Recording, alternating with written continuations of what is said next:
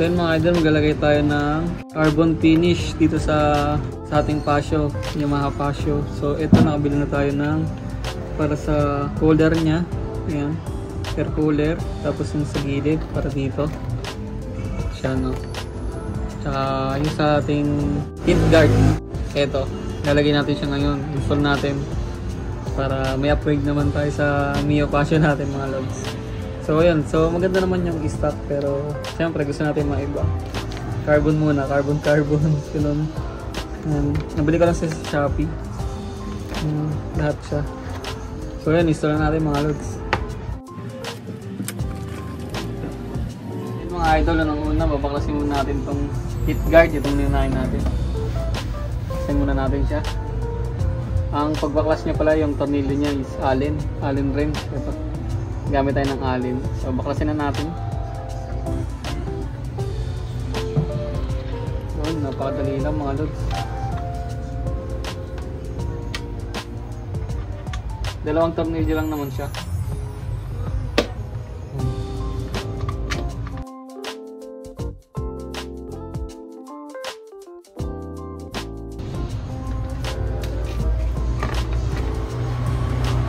So yung mga idol, yun yung stock niya. Plastic lang siya. Plastic. Plastic lang. Mas magaan to mga lods. Ito medyo mabigat to eh. Solid plastic. Ito carbon finish. Yan, magaan siya. Yung lalagyan natin.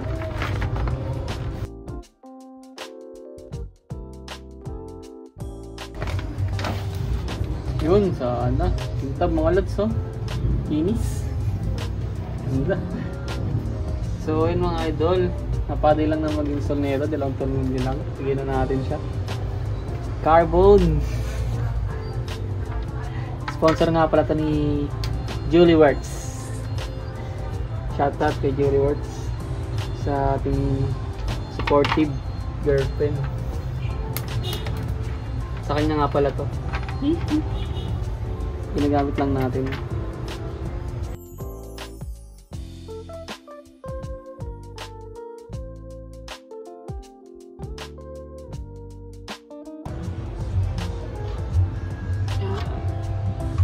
Hindi pa. Oops. Oops, okay na. Goods na mga loads. So ngayon, ito naman yung babaklasin natin mga loads. Tatlong tornilyo lang naman siya. Screwdriver lang yan. yun. Phillips screw. Yan, tsaka ito. Yan, tatlong screw lang. So kuha muna tayo ng screwdriver mga loads. Lagyan natin. Yan o, napakaangas. So yun mga idol, kuha tayo ng screwdriver. So itong Pasio, meron siyang libreng tools. So yun yung gagamitin natin. Ito yung libre niyang tools. Meron siyang Allen wrench, saka yung Phillips screw, saka flat screw, baliktaran.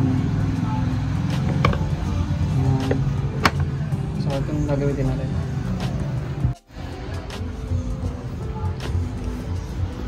So mga idol, ayun na. Buti na lang may libre siyang tools. Nagamit natin siya.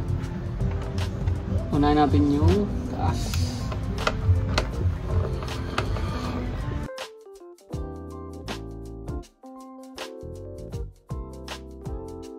Kasi ito yung kanyang screw na isa.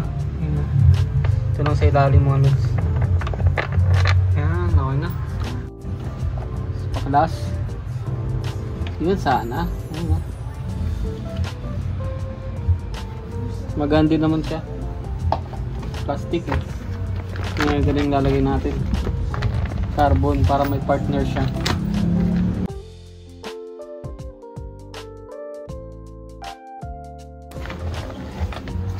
Yun know?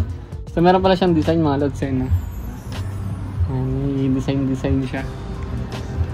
Dito wala, sa stock. Ayan no? May stock, wala siya.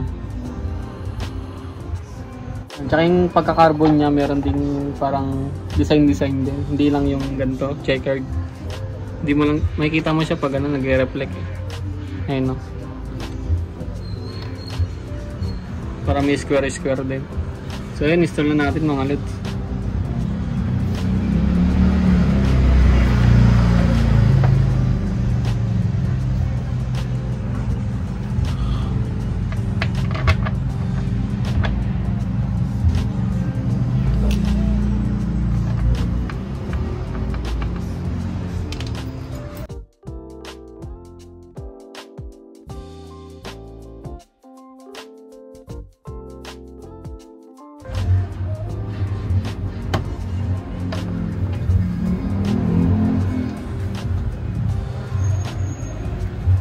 Mga idol, okay na. Goods na.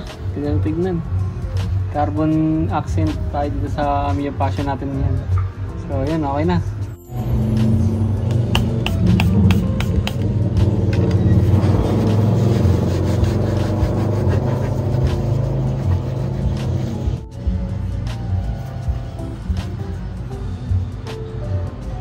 So yun mga idol, ano nga pala siya? Adhesive lang. Kala ko kasi ano eh, di tornilyo to. Yung binigay nila sa akin yung adhesive na dinidikit lang. Pero sana tumagal.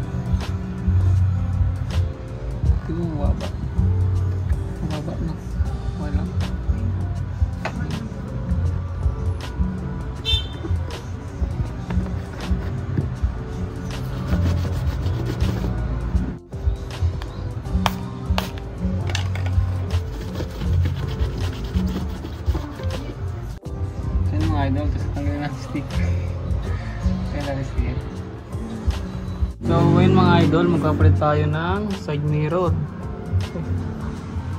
Papalitan na natin siya para maging classic style siya. So, ito lang naman yung tatanggalin natin dyan, itong tornilyo. Tapos ikot-ikot na yung side mirror. Gamit tayo ng 14 na yabe. Tandaan na mga lods kasi baka magasgasan, white pa naman.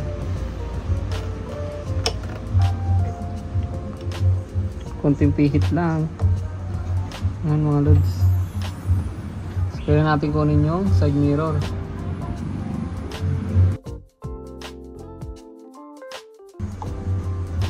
Oh, yan lang kadali mga lods.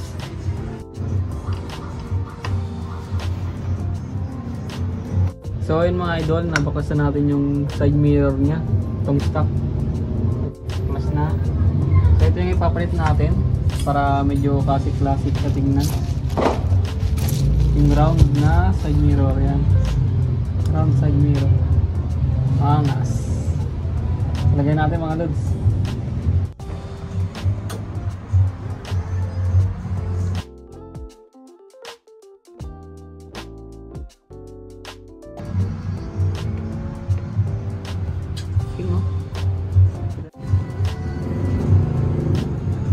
So, ayun mga idol, bumili tayo ng cigarette. Cigarette, ano niya, charger.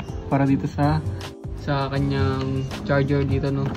Na free. Na may kasama na siyang charger. Kaso ilalagay mo pa yung ganito. Yung cigarette. Kailangan mo siya ng cigarette lighter.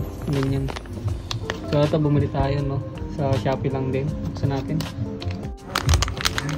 So yun mga idol. Bali, meron siyang USB, fast charging, tsaka Type-C. So yun, goods. Tingnan natin.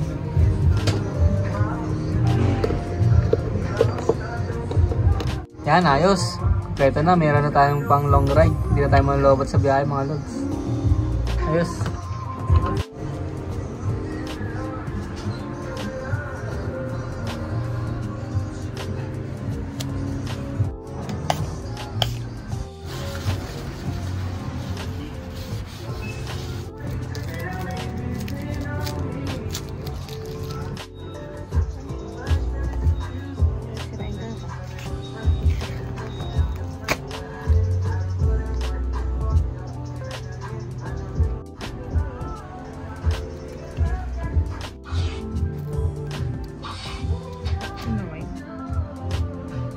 Hindi pala siya tempered. Plastic lang siya.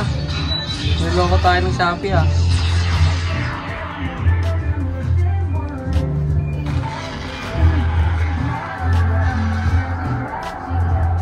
So yun mga idol, hindi kayo marunong maglagay ng kanyang tempered. Pero hindi siya tempered eh, para lang siyang sticker na clear, ganun lang siya.